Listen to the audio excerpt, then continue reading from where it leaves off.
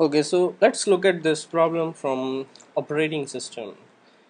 Consider three CPU intensive processes which require 10, 20 and 30 time units. Okay, and they arrive at times 0, 2 and 6 respectively. How many context switches are needed if the operating system implements a shortest remaining time first scheduling algorithm. Okay. Do not count the context switches at time 0 and at the end. Okay. So out here we have three CPU processes okay? And they require these 10 20 and 30 time units and they arrive at these different 0 2 and 6 times.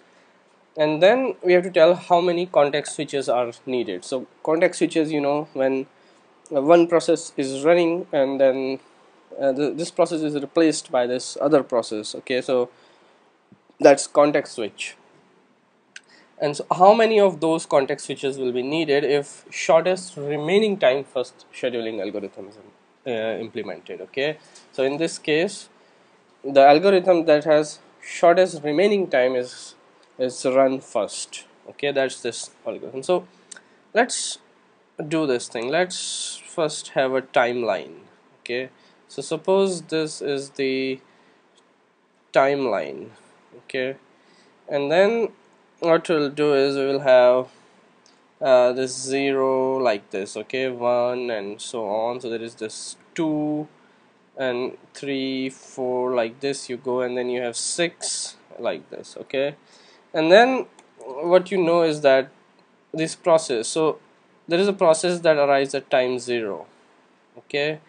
And there is this another process that arrives at time 2 and there is this another process that arrives at time 6 and then you have to you have to run them in the order of shortest remaining time. So the first process that arrives at this time 0 is it needs 10 units okay? So it it will run okay? At this time another will come with 20 so this first process okay? So I'll, I'll call these processes p0 p1 and p2 okay? This p0 p1 and p2 with with their different times like this. 10 20 and 30 times. So this p0 will run first and it will keep on running. At 2 the another process will come which is 20 which needs 20 time units. So p0 is still uh, 8 we still have 8 time units so it's shorter so so p0 will keep on going keep on going okay? And then when this process comes it needs 30 which is still greater. So p0 will keep on going up till this point that is 10 okay? That 10 time units. And and then what is the next one with shortest remaining time will be p1 with 20 time units okay? And then uh, for from 10 for another 20 time units it will run that is at 30 what we will see we will see that another process the last one with 30 with 30 time units will start running at this point which is point uh, P2 and this will run up till 60 okay?